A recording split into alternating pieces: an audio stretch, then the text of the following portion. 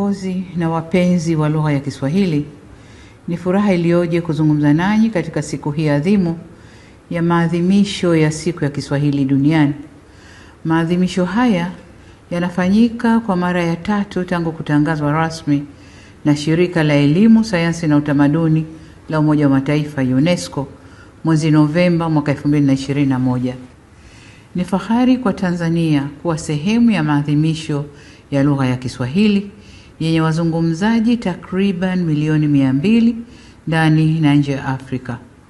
Kiswahili kimesambaa kwa mapana na marefu kutoka Japani hadi Marekani, kutoka Finland hadi Afrika Kusini. Kiswahili ni lugha tunayojivunia. Tunapoadhimisha siku hii muhimu, tunatambua mchango mkubwa wa wadau wote wa ndani na nje wa kukikuza na kukieneza Kiswahili ambacho sasa kinatambulika na kutumika kikanda na kimataifa. Kutangazwa tarehe 7 Julai kama siku maalum ya lugha ya Kiswahili duniani ni miongoni mwa matunda ya jitihada hizo.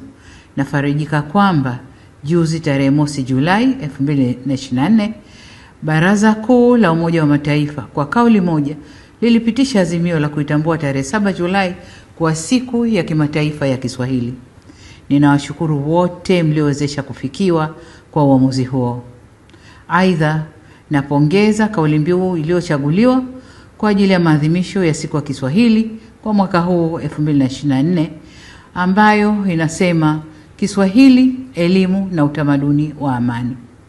Kauli mbiu hii inaakisi historia na umuhimu wa siku iliyoteuliwa kwa ajili ya maadhimisho haya ambayo ni tarehe 7 Julai, siku ambayo miaka sabini iliyopita chama cha ukombozi cha Tanganyika African National Union tano kiliazimia kwamba Kiswahili kitumike kama lugha rasmi ya kuwaunganisha watu katika harakati za kudai uhuru wa Tanganyika.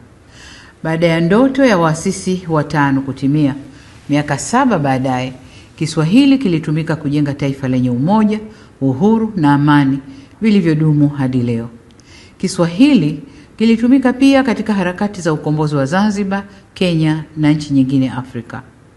Nitakuwa sahihi nikisema Kiswahili ni lugha ya ukombozi, ni lugha ya umoja, ni lugha ya amani na ni lugha ya biashara.